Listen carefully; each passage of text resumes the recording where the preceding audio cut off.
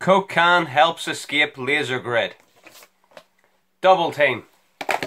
Van Damme is locked up in spy prison, which happens to be a blimp fitted with a laser grid underneath, which he deactivates with a Coke can and a whole bunch of elaborate rubber band style tricks, and teams up with Dennis Rodman in order to take out the target of his last failed botched mission.